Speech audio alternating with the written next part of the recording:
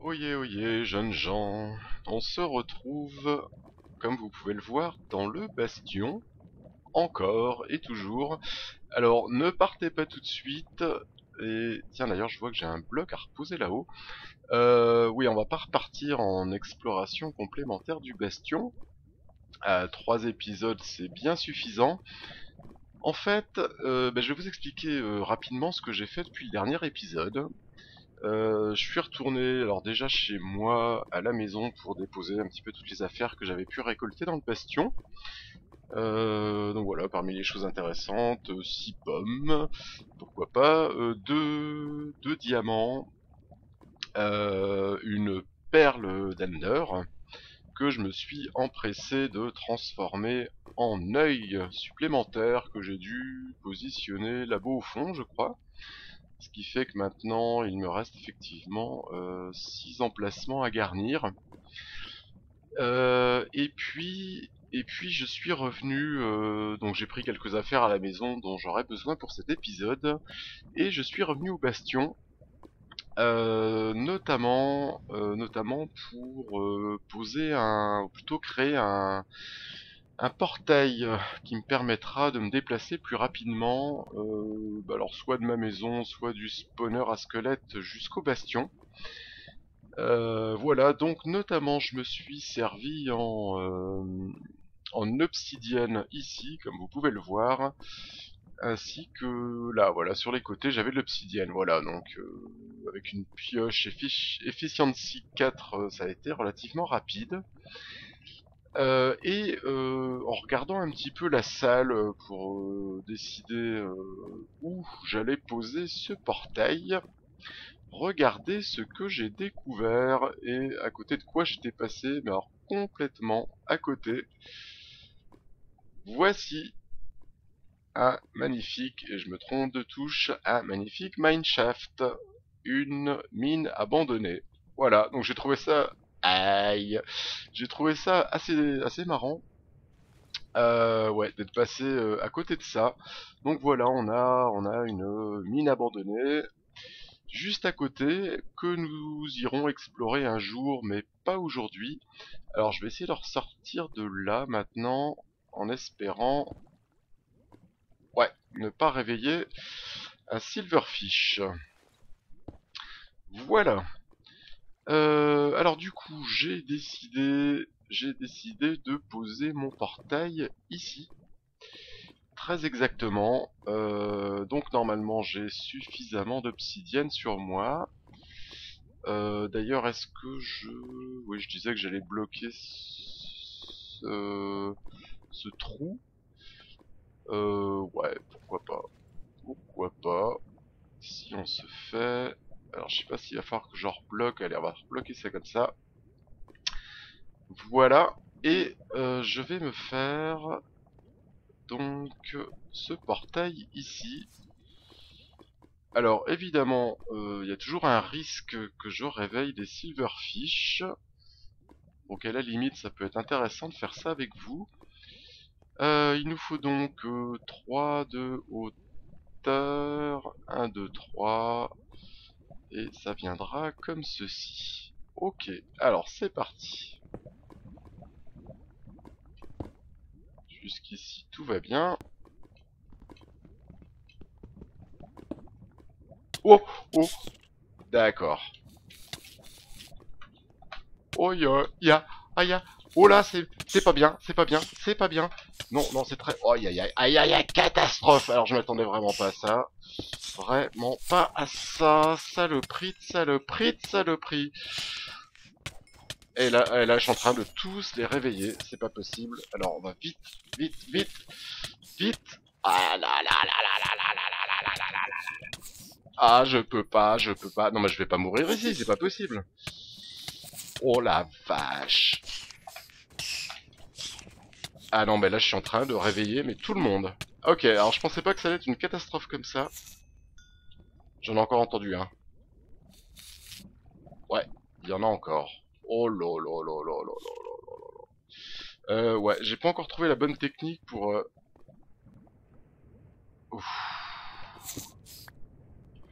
J'ai pas encore trouvé la bonne technique pour me débarrasser efficacement des, silverfish, ou en tout cas me mettre à couvert. Allez, on remonte là. Bon, alors il faudrait que je trouve le dernier.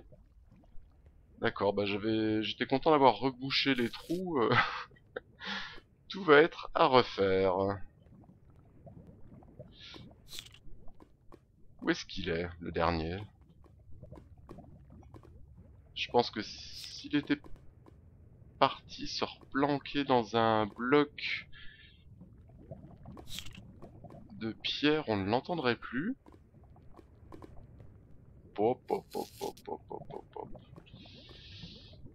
Alors, euh, là il faut que je me prépare vraiment à... Ouais, à, trouver une solution de, de repli. bon, eh ben... Où te caches-tu, l'ami? Il est où? Alors, là, il est vraiment allé se planquer. Bon, et eh ben voilà un épisode qui commence sur les chapeaux de roue. Ah là là, il y en avait un là. Incroyable. Bon, alors... Euh,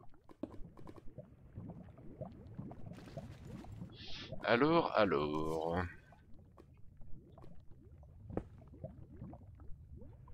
Ok. Euh, ça. Voilà. Donc voilà mes trois blocs de hauteur. Euh, faut que je cache que je casse ceci. Toujours pas de silverfish. Ouais, je pense que le dernier est, est vraiment allé se planquer maintenant.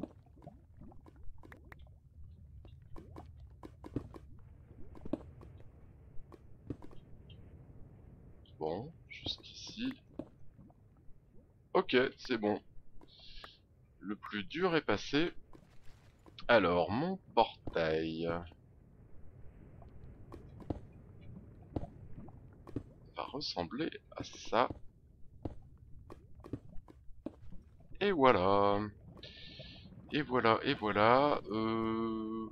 Alors, éventuellement, on va faire ça comme ça. Voilà. Et il ne reste plus il ne nous reste plus qu'à l'allumer. Ah D'accord. Ok, euh, alors visiblement ça lag méchamment. Euh, J'aimerais bien savoir pourquoi. Bon. Écoutez. Euh, spawner à squelette. Très bien. Bon, je vais reboucher un petit peu tous ces trous.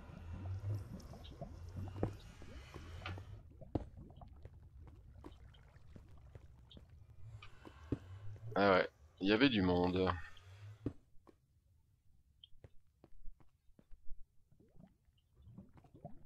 Et ça... Ah, même là. Ah oui, c'est impressionnant. Allez, on va se faire ça. On va se faire ça. Comme ceci.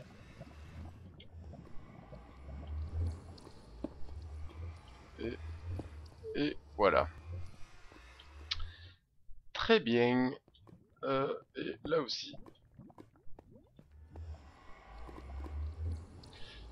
Alors... eh bien, on va voir où on va atterrir. Je vais tout de suite afficher les coordonnées.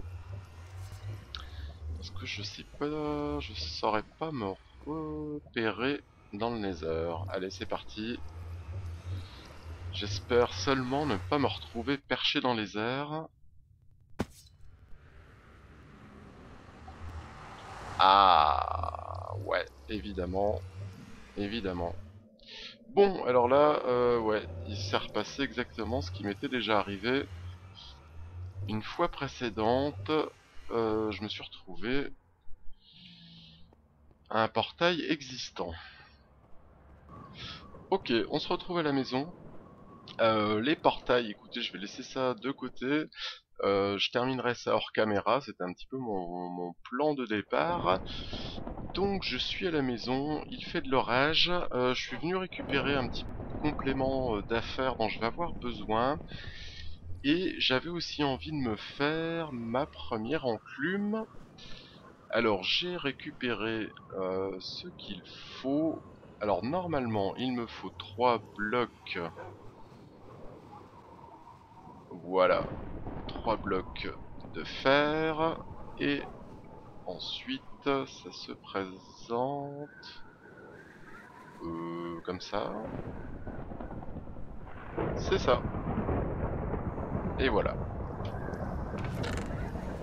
Très bien. Et, euh, et j'ai trouvé l'emplacement où j'allais mettre mon enclume. Alors ça me permettra de faire des tests. Euh, puisque je me rappelle pas complètement en fait de l'utilisation. Voilà. Et voilà une jolie enclume. Super. Alors on va tout de suite retourner au spawner à squelette parce que la suite se passe là-bas. C'est parti. Alors, je vous avais expliqué que j'avais migré mon serveur en version 1.5 parce que j'étais très impatient de tester toutes les nouveautés de la Redstone Update. Et là, je vais me méfier. Personne, ok. Euh, la Redstone Update, donc les entonnoirs, les droppers, etc. etc. Euh, alors j'ai trois choses que j'aimerais faire. Euh, toutes vers le spawner à squelette, c'est pour ça qu'on y retourne. Nous y voici. Alors, la première des choses, mais là j'ai pas encore euh, creusé tout à fait la question, ce serait évidemment euh, d'avoir un système à ce niveau-là qui tue directement les squelettes. Donc l'idée va être d'abaisser euh, ce réceptacle d'un cran vers le bas. Donc normalement ça devrait suffire pour les tuer directement. Et avec un système de hopper, donc d'entonnoir euh, placé dessous, euh, ça me permettrait de récolter évidemment les loots. donc les flèches, les arcs et les os. et ensuite l'idée va être de les emmener euh, jusqu'au coffre pour les stocker automatiquement dans les coffres. Voilà. Euh, alors comme je vous le disais, il faut que j'étudie un petit peu plus la question, euh, sachant notamment que les items, il va falloir que je les remonte pour pouvoir... Ouais, enfin en tout cas pour pouvoir les placer les items dans les coffres. donc je pense que j'utiliserai un ascenseur à items d'un nouveau type euh, je sais que AC Tennis AC a inventé un, euh, système d'ascenseur euh, à base de dropper qui a l'air, ma foi, très bien. Donc je pense que j'utiliserai son modèle, il faut simplement que je regarde d'un peu plus près la façon dont il alimente son ascenseur. voilà, donc ça ce sera le premier projet. le deuxième, le deuxième, en fait je vais m'inspirer euh, je peux m'inspirer un petit peu de ce que j'ai pu faire dans Redstone Info ces derniers et notamment euh, je vais me débarrasser de ce champ de blé qui est ma foi bien joli mais euh, j'ai moyen d'automatiser maintenant la, pousse de céréales donc, donc je pense que je créerai prochainement, et à mon avis je vais la mettre euh, par là, côté de ce mur ici, euh, un, donc une machine qui me permettra de cultiver le blé, euh, les patates quand j'en trouverai, les carottes quand j'en trouverai également, de manière beaucoup plus efficace. Et dernier projet, et c'est à ça que l'on va s'atteler aujourd'hui, euh, j'ai envie de remplacer cette pauvre porte à base euh, de fence gate par une porte euh, à base de piston et à nouveau une porte en verre parce que j'avoue que celle que j'avais découvert sur la chaîne de Magic c'est que je vous ai présenté en long et large et en travers dans Redstone Info. cette porte me plaît beaucoup. alors, comme vous pouvez le voir ici, on a une hauteur de 3 blocs, ce que je tiens à conserver. J'aime bien pouvoir sauter quand j'en ai envie. Donc la porte que je vous avais présentée ne convient pas puisque elle faisait 2 de hauteur. Euh, donc il a fallu que j'étudie euh, un nouveau système. Et euh, bah, écoutez, je vais vous emmener tout de suite en créatif pour vous montrer le système, en tout cas le modèle de porte que j'ai envie de construire à cet endroit-là. A tout de suite. Et nous voici au-dessus de cette fameuse porte. Donc vous voyez que le système est un petit peu volumineux. Bon, ceci, il faut bien faire tenir voilà, c'est ces pistons, euh, le double piston extender à droite. Euh, et j'ai euh, rajouté cette partie-là, je vais vous expliquer rapidement de quoi il s'agit. Alors grosso modo, j'ai repris le fonctionnement de la porte de Magix que je vous avais présenté dans Redstone Info. C'est-à-dire que nous allons d'abord actionner le double piston extender pour ouvrir la porte par la droite. Donc les blocs de verre vont se trouver poussés vers la gauche. Voilà, alors les pistons, on ne les voit pas parce que, bah, écoutez, pour une raison inconnue, j'ai un problème de CPU. Euh, Minecraft euh, consomme beaucoup de CPU là euh, dernièrement chez moi, je ne sais pas pourquoi.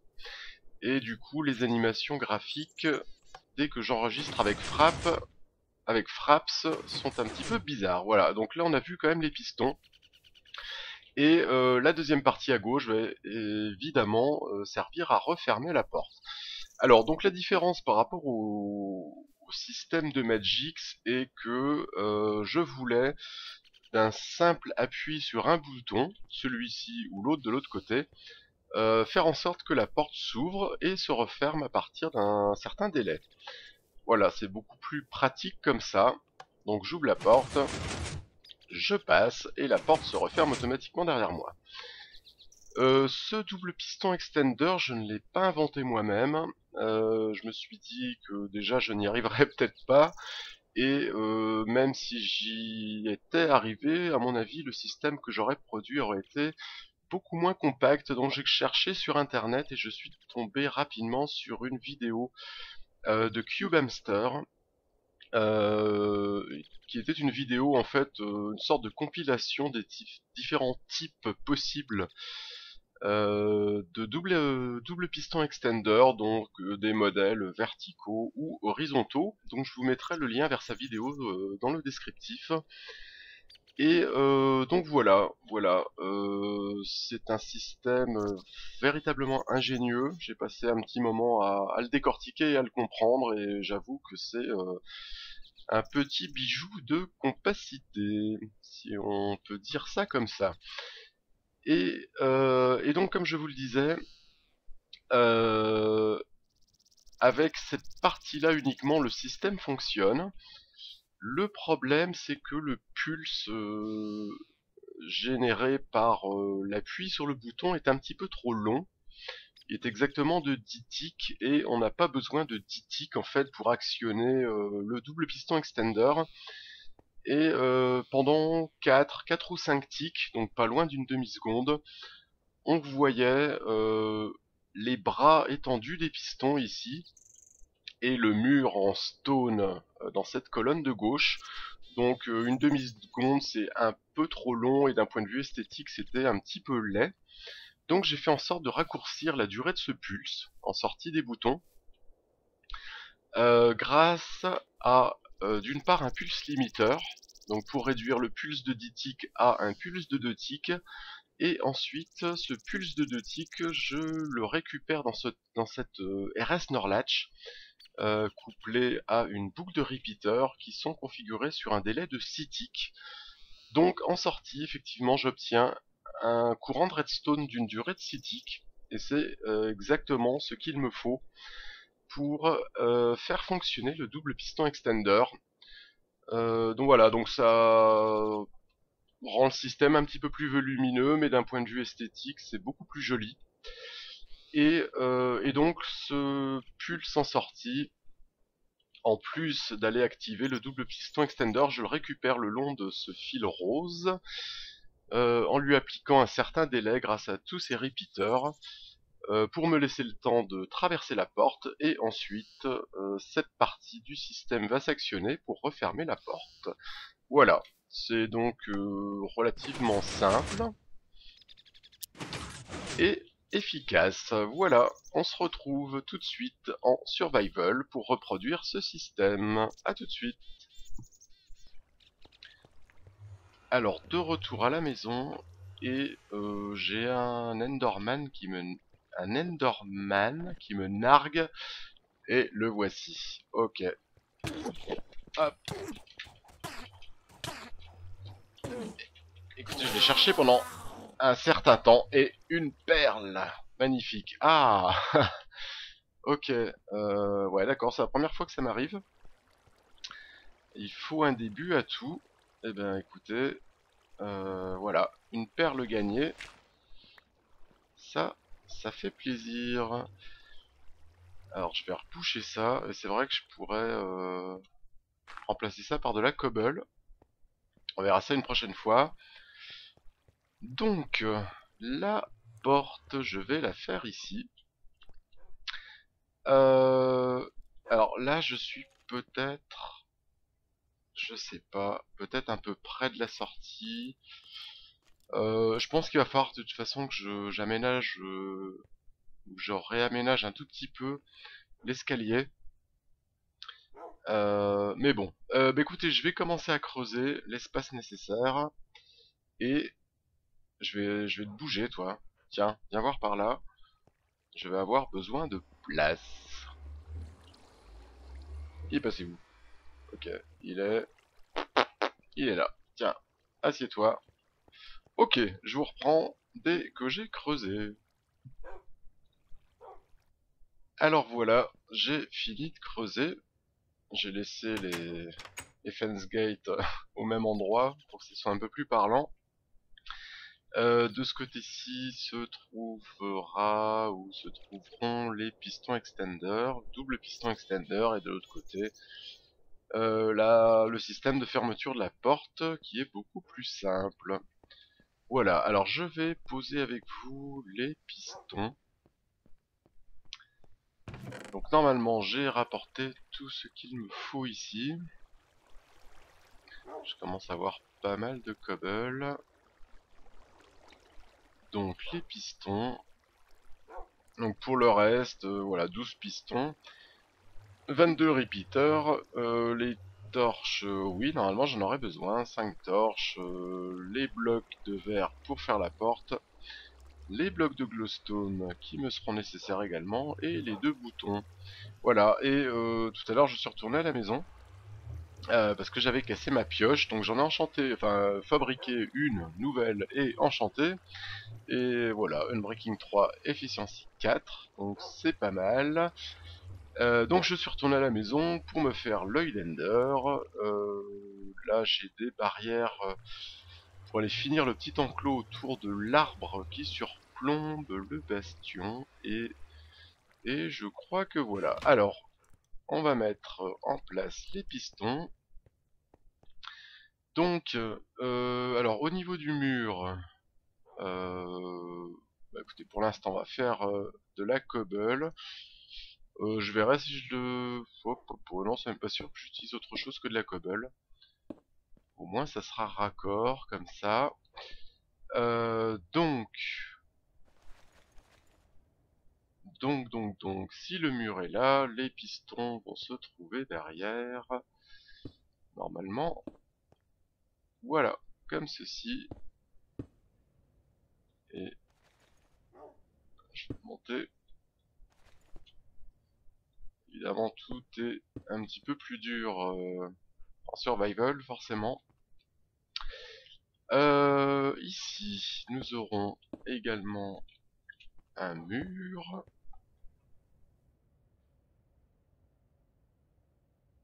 Et, euh, et, et, normalement, il y a un espace ici voilà, et un deuxième espace derrière. Et voici pour les derniers pistons. Ah, raté. Ça aurait pu marcher. Hop. Je vais monter là. Et voilà. Les pistons sont posés. Euh, eh bien, je continue. Et je vous reprends euh, quand j'aurai fait une, une avancée significative. Et d'ailleurs, on va, on va casser ça. Alors, je sais pas si ça va mieux avec la hache. Si, carrément mieux. Voilà. Allez, à tout de suite. Voilà, l'essentiel du système est construit. Donc j'ai posé la porte. Euh, j'ai construit le double piston extender que voici. Et euh, la deuxième partie du système pour refermer la porte. Donc ça fonctionne. Euh, ça fonctionne, je vais vous montrer ça. J'ai positionné le bouton ici pour l'instant. Donc vous voyez que la porte s'ouvre. Je peux passer et deuxième bouton pour refermer la porte. Voilà. Ça marche. Euh, j'en ai aussi profité pour euh, reproduire les chiens. Voici un joli petit chiot. Salut. Euh, un joli petit chiot bah, qui vient juste de grandir. voilà, il est adulte maintenant. En direct sous nos yeux. Voilà, voilà. Alors j'ai dû agrandir aussi un petit peu ces salles en hauteur et en profondeur euh, pour pouvoir bah, positionner un petit peu le, les repeaters là-haut, etc. Ce qui fait qu'à l'extérieur... Alors est-ce qu'il fait jour Est-ce qu'il fait nuit? Pour l'instant c'est le grand chantier. Il fait jour. Je vais vous montrer à quoi ça ressemble. Voilà. Alors j'ai dû abattre l'arbre qui était ici. Euh, pas d'autre choix, et, recouvrir euh, voilà mon système euh, par de la terre parce que je voulais éviter absolument une mauvaise rencontre avec un creeper pour éviter que tout pète alors que j'aurais terminé le système. Voilà, donc je me protège comme ça. pour l'instant, c'est absolument hideux. Mais c'est temporaire. Euh, d'ailleurs, qu'est-ce que je fais là? Ouais, c'est bon. Ok. Allez, pour le plaisir, une deuxième activation de la porte. Ouais, ça marche, c'est beau. Eh ben écoutez, je termine tout ça. Je termine tout ça et, euh, et je vous montre le système. Une fois terminé, j'aurai aussi les escaliers à revoir. Enfin, pas mal de choses. J'ai encore du travail. À bientôt, à tout de suite. Et voilà, système terminé. Euh, voilà, donc ça fait beaucoup de cobble, hein. c'est pas forcément ce qui est le plus joli. Je verrai si je change les matériaux un de ces jours. Mais voilà, le passage qui s'ouvre et qui se referme. Superbe. Et il fait nuit, Très bien, euh, voilà voilà, il me reste à planter un arbre par là, celui que j'avais été obligé de casser, je vais le mettre là, voilà.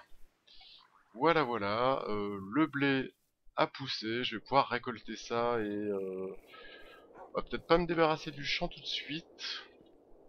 Euh, J'en fabriquerai cette ferme à blé et à légumes.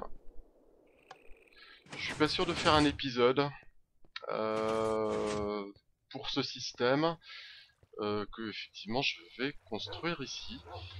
Euh, voilà, je ferai ça hors caméra. Il me reste également à terminer le portail au niveau du bastion. je ferai ça hors caméra également. Terminer l'enclos autour de l'arbre. Et puis tout à l'heure, en fait, eh j'ai remis euh, en marche le spawner à squelette. Et j'étais bien content parce que j'ai eu un squelette mais qui n'est plus là, euh, qui était porteur d'une armure euh, enchantée visiblement. Donc je, voulais, je voulais vous montrer ça, j'ai commencé à filmer, puis quand je suis revenu en fait, euh, eh bien tous les squelettes avaient despawné, j'avais dû m'éloigner un petit peu trop. Bon, tant pis, euh, remarquez que là on en a un avec un arc enchanté. Et eh ben on va terminer là-dessus. En espérant pouvoir récupérer cet arc. Ce qui n'est pas évident. En tout cas ça marche toujours aussi bien. Voilà. Est-ce que j'ai un arc enchanté? Non. Non, j'ai toujours celui que j'avais au départ. Ok. Eh bien, tant pis. Euh, ça, par contre, je peux m'en débarrasser. Ça, ça marche toujours aussi bien. Hop. Et voilà. Eh bien écoutez, c'est terminé pour cet épisode. Voilà une bonne chose de faite. Et je vous donne rendez-vous très prochainement. Portez-vous bien. Bye bye.